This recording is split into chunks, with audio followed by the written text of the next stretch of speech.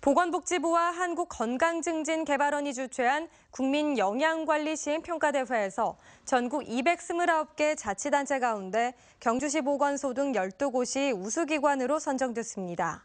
경주시 보건소는 임산부와 영유아 영양관리, 고혈압 및 당뇨병 영양교실을 운영하고 생애주기별 영양관리 사업을 시행해 좋은 평가를 받았습니다.